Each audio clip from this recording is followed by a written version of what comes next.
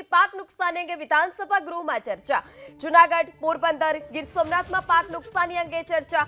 પાક નુકસાનીના વળતર અંગે કોંગ્રેસ ધારાસભ્યના સરકારને સવાલ.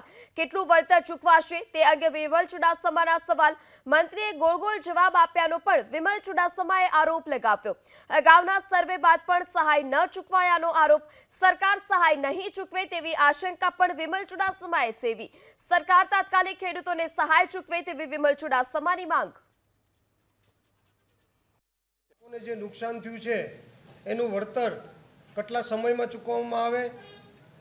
એ કોના એ કયા અધિકારી દ્વારા એનું સર્વે કરવામાં આવે?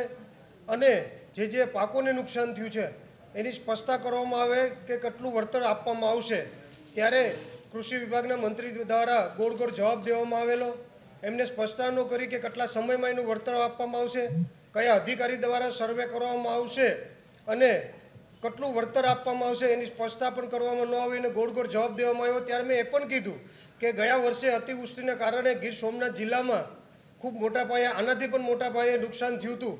ત્યારે આપણા વિભાગ દ્વારા સર્વે કરવામાં આવેલું હતું, પણ એક પણ વ્યક્તિને આજ દિન સુધી એની સહાય મળવામાં નથી આવી, તો ખાલી તમે સર્વે જ કરવાના છો કે ખેડૂતોને જે નુકસાન થયું છે, એને વળતર પણ ચૂકવવાના છો? ત્યારે એમાં પણ ગોળ ગોળ જવાબ દેવામાં આવ્યો કે તેત્રીસ ટકાની ઉપર હોય, નુકસાન થયું હોય, તો એ એ રીતે આપવામાં આવે છે. પણ તમે એમ કહેતા હોય કે તેત્રીસ ટકાની ઉપર નુકસાન થયું છે, તો જ અમે આપવામાં આવશે. એટલે એનો મતલબ કે ગયા વખતે વળતર ચૂકવવામાં નથી થયું એટલે તેત્રીસ ટકાની નીચે નુકસાન ગયું છે. તો એનો મતલબ આ વખતે પણ ગોળ ગોળ જવાબ કરી, સર્વે કરીને વળતર નહીં ચૂકવવામાં આવે એવું મને લાગે